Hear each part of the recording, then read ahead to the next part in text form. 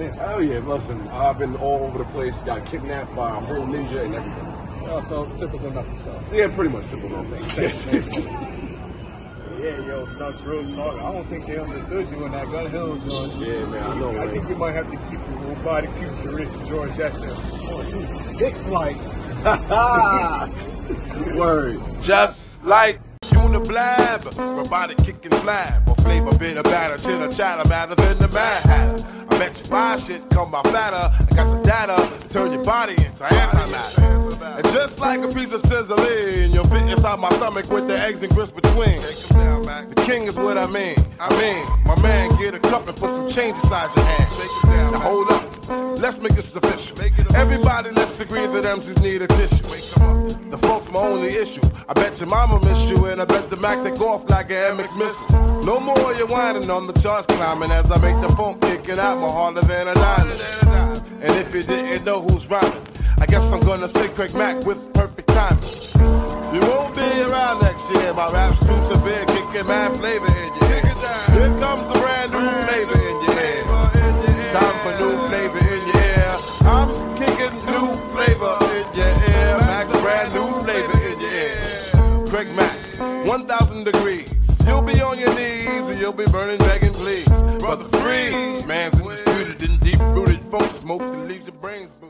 This is 126, El Deposito de Barrio, located in East Harlem, aka the village hidden in the cheeks.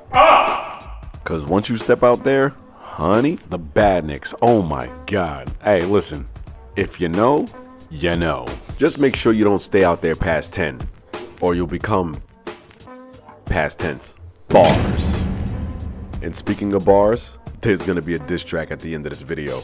And to the individual that's getting dissed, I needed time to think about how I was gonna cook you. All those years of talking shit from a distance. Now I'm gonna talk my shit from a distance. The difference is that when I speak, I speak volumes. And you will hear me, whether you like it or not. You've been talking shit about me since 2015. Then on top of that, your punk ass got nerve to send me an ashy ass friend request on Facebook.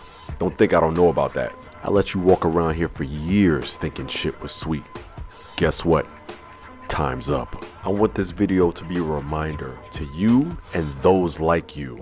Don't you ever, in life, so long as you have a hole in your ass, ever fuck with me or the ones that I care about. Tell them, Nico. Nobody fucks with my family. Hey, listen, man to man, you got a good poker face. At the end of the day, I'm the one with La Mano. Now, the routes out of 126 are the M15, local and chicken select bus service, M31, M35, M60, and M116.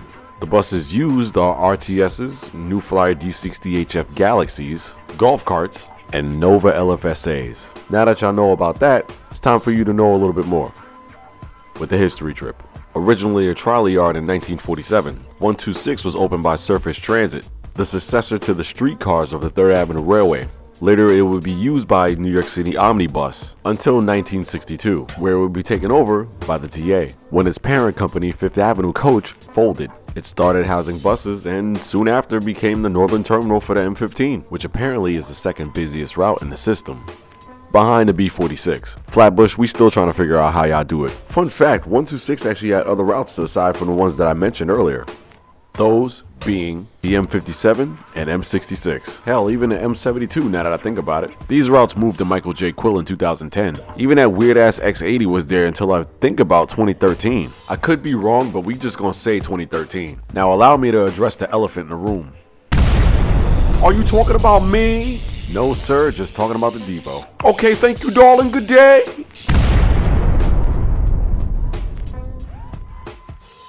I cannot figure that man out for the life of me. The theme song for 126 is obviously Flavor in Your Ear by Craig Mack.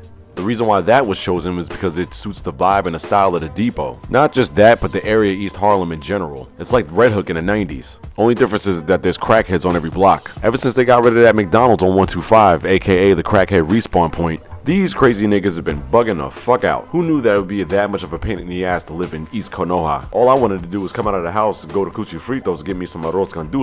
But no, can't do that shit either. Why? Because they're terrorizing the fucking streets. Got me coming out of the house looking at them like, What's wrong with you? What's wrong with y'all? You niggas are crazy!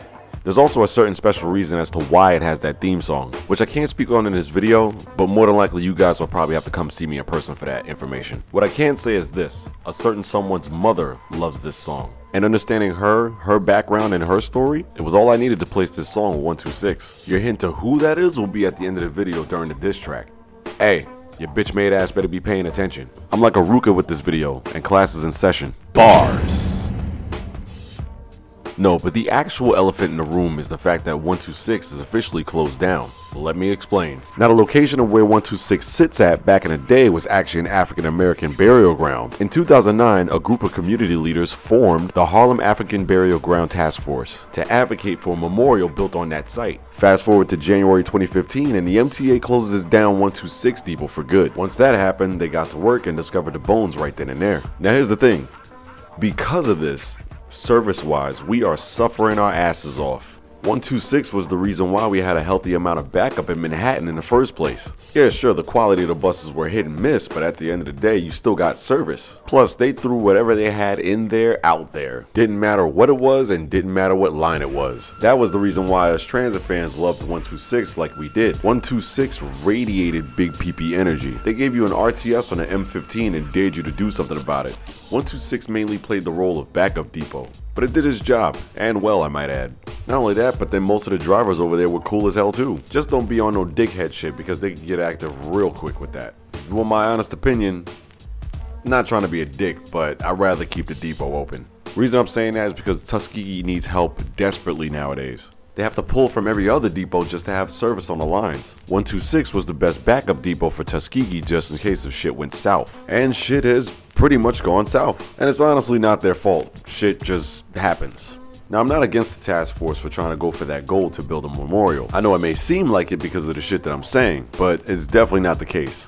My whole thing is this why not build a memorial with the bus depot at the same time. Like rebuild the entire depot, have the buses on the bottom, and have the memorial on the top. It's a win for both parties. You can have a separate entrance for anybody that wants to go upstairs to see the memorial. Meanwhile, downstairs, the MTA is still kicking a new flavor in your ear with 126 still being open. At the end of the day, it's just a suggestion. Now, as a fan, I love 126. Hell, 126 is the reason why we caught all the craziest catches back in the day, even when it came down to shuttle buses. And speaking of shuttle buses, 126 was always there when it came to a subway shuttle. Mind you, they'd be the most out of pocket one there. Everybody's sitting there using Orion 5s and RTSs. Here they come with the Nova LFSA. And fresh out the box too on top of that. Still got the new bus smell and everything. Again, big PP energy. One thing I could definitely say for sure is that I know some of you are probably wondering what an XD40 or an XD60 would look like coming out of 126. And honestly, I really don't blame you guys for that. Hell, I've thought the same thing myself to be honest, but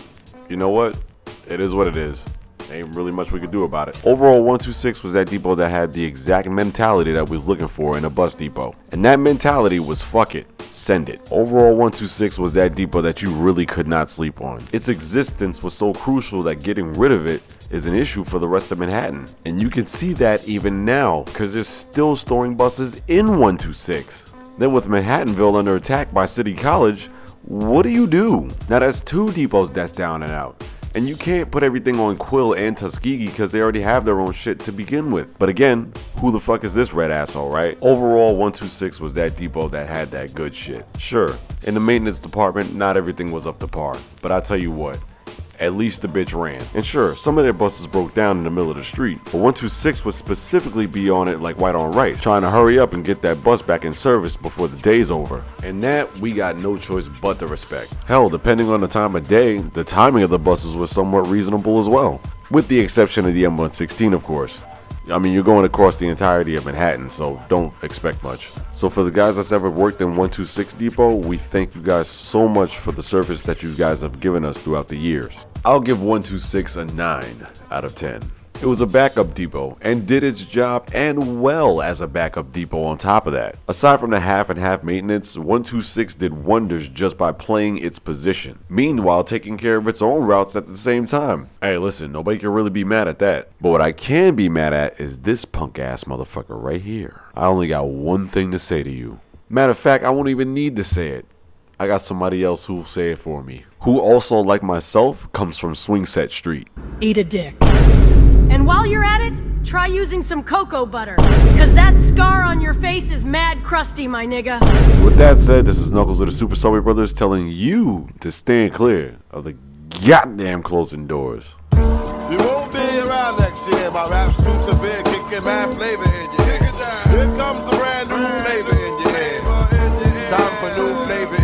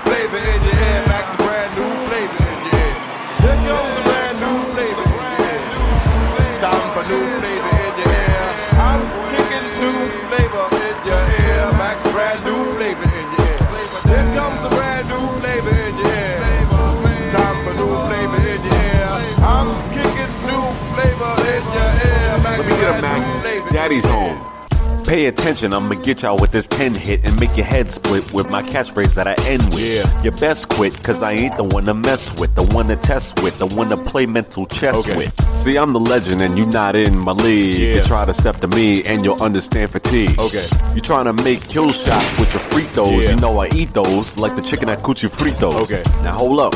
I'm as tall as your door. Yeah. Remember your past, I had you shook to your core. Okay. So peep game, now you mad cause you wanna win. Yeah. Had your ass get vibe checked by a wonder twin. I'm in the barrio, oh, chillin', blasting Craig Mack. Yeah. And X is in the house, so come through and get your koofy smacked. The goat is back, so turn around and start booking. And inhale so you can smell. What the fuck is cooking? Here comes the brand new flavor in your ear. Time for new flavor in your ear. We kicking new flavor in the air. Nux and Max, new flavor in your ear. Here comes the brand new flavor in your ear. Get a Max. It's time for new flavor in your ear. We kicking brand new flavor in your air. Nux and Max, new flavor in your ear.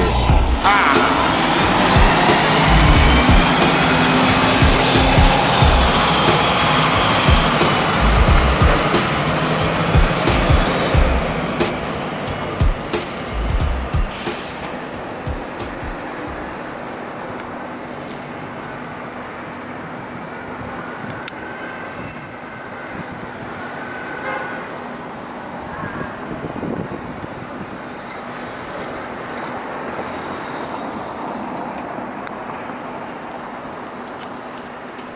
See, y'all already know exactly where I'm heading to after this shit. It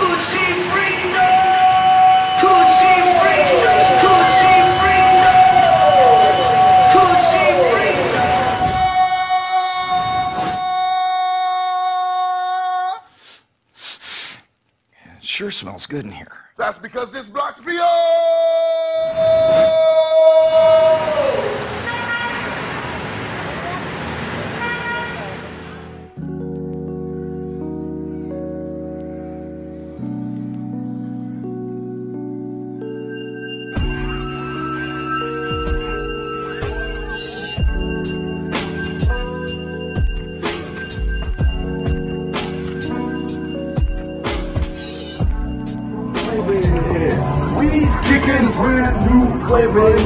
That's the best new flavor in here. ear. That's gonna make it on SoundCloud.